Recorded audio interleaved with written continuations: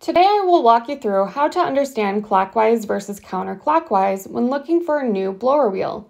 Most blower wheels are shown from the opened end of the wheel and here's an example. When looking at this picture, you will see how the blades will turn in a counterclockwise motion. When you turn the blower wheel around and are looking from the closed end angle, now the direction has changed. And here you can see that the wheel will now be turning in a clockwise rotation.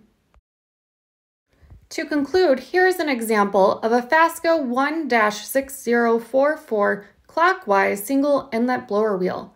On the left, you can see the closed end is in the clockwise rotation, while on the right side, looking from the opened end, it will rotate counterclockwise. If you have any questions about which blower wheel will work for you, Feel free to reach out to your Dreisilker motor expert today.